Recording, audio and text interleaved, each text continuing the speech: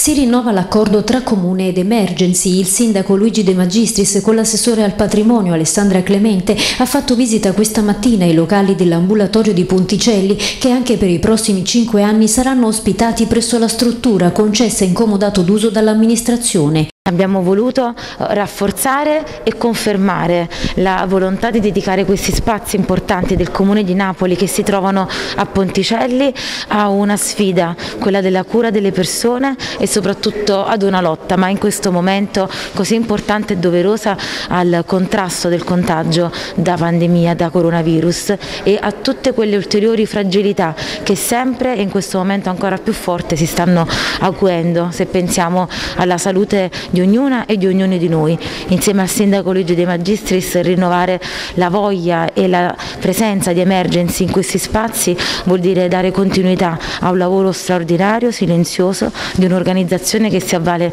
di professionalità, che sanno incontrare le persone di questo quartiere e non solo e lo sanno fare all'insegno di un grande diritto, quello di garantire come Repubblica Italiana la salute a tutte e tutte le cittadine. Attivo dal 2015, l'ambulatorio Emergency offre gratuitamente gratuitamente servizi di medicina di base e orientamento per facilitare l'accesso al sistema sanitario a chi ne ha bisogno. Ad oggi il centro ha erogato più di 31.000 prestazioni sanitarie e curato nel 2020 oltre 1.600 pazienti. Siamo contentissimi che insomma, il Comune abbia deciso di proseguire con, questo,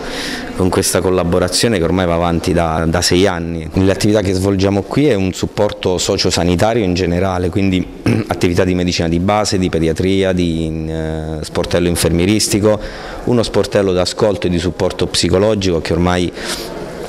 insomma purtroppo sta avvenendo tante persone eh, e chiaramente l'attività di orientamento e inserimento all'interno del sistema sanitario grazie al lavoro dei mediatori culturali che insomma, si, si, dedicano principalmente alla, alla popolazione migrante.